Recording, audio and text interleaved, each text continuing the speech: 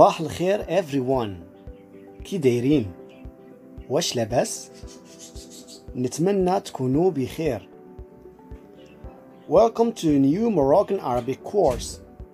In today's lesson, we will study about the family in Darija. By the end of this class, you will be able to talk about and describe your family members. Before we start today's course, do you have guys any questions about the Moroccan family? Yes, of course, Ustad Fouad.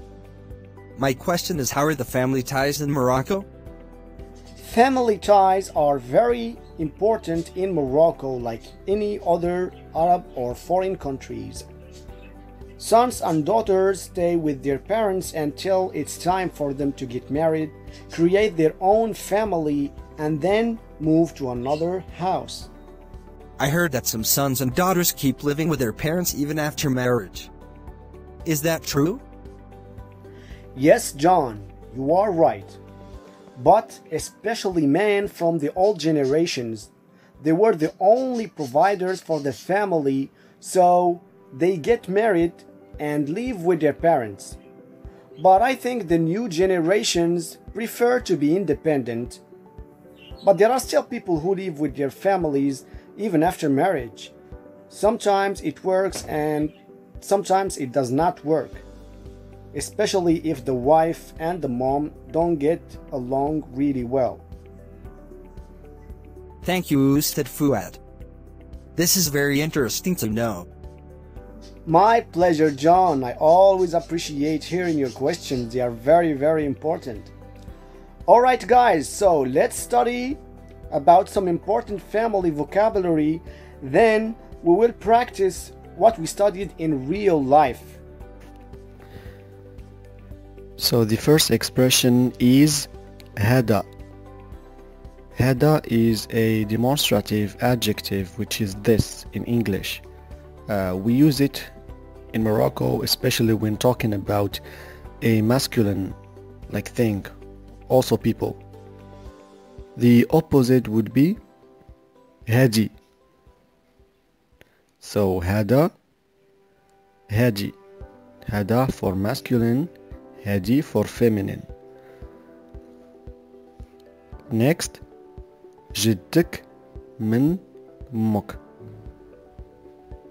it means your grandfather from your mom's side جدك من أمك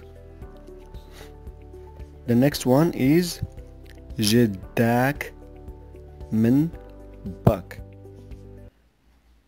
which means your grandmother from your dad's side. ولكن it means but ولكن باقي حي باقي حي it means he's still alive باقي حي and باقي حيين باقي حيين they are still alive ما عندي ما نقول ما عندي ما نقول It means I have nothing to say. I am speechless. The second one is عرفنا بهاد البنت عرفنا بهاد البنت which means introduce us to this girl. The next one is عرفينا بهاد الولد عرفينا بهاد الولد which means introduce us to this boy. In this example we are asking a girl عرفينا عرفينا بهاد الولد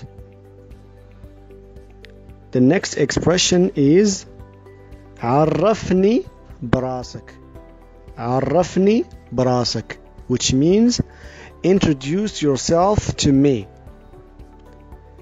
next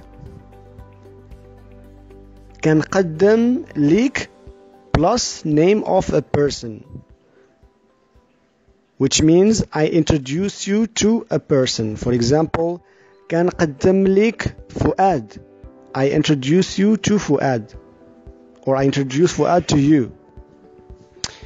The next expression is كان plus the name of the person.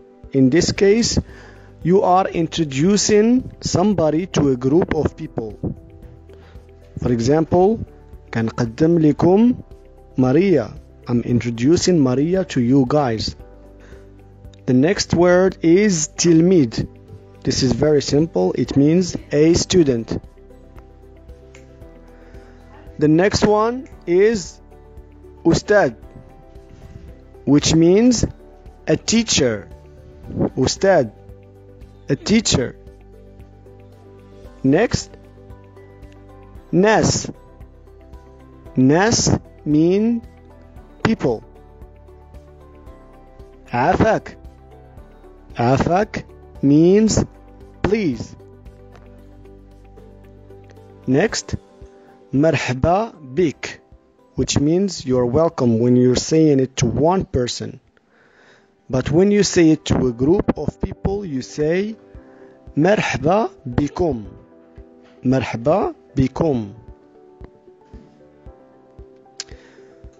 The next expression is سمية ديال which means the name of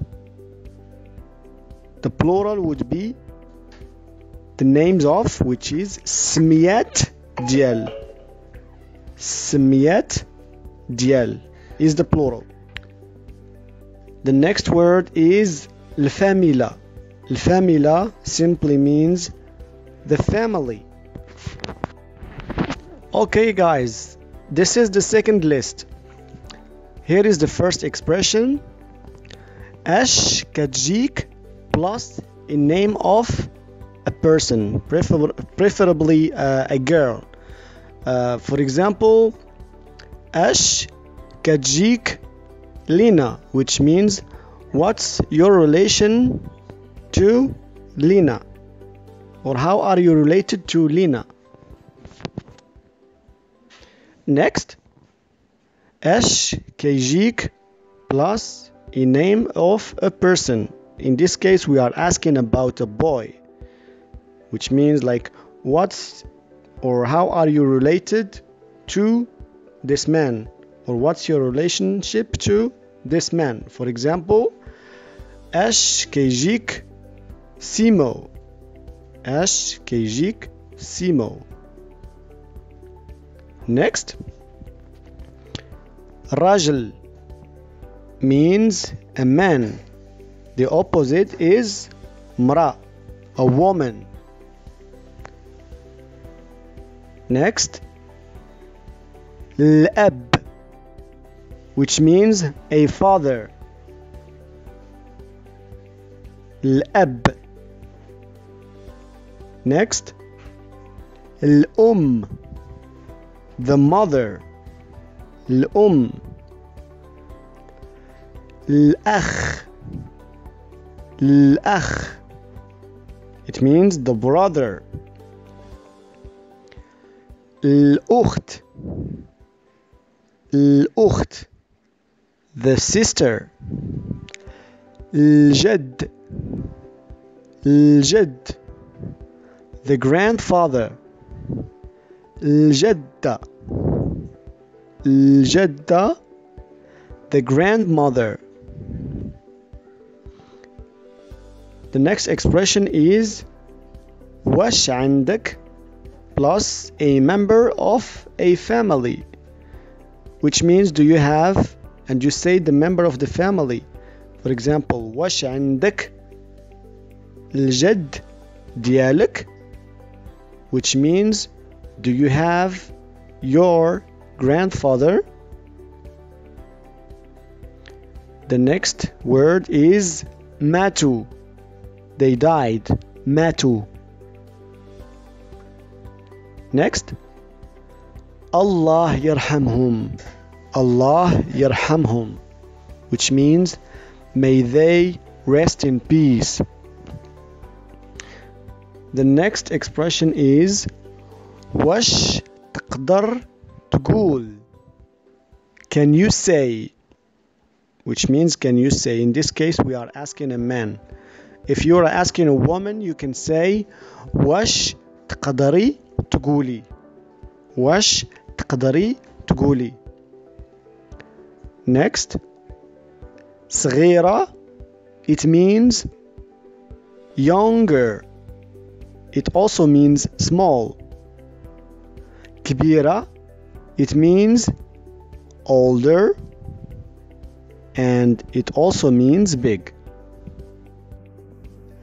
all right everyone now Lena will visit my family members in my own house and she will use the expressions we just studied so stay tuned and please pay attention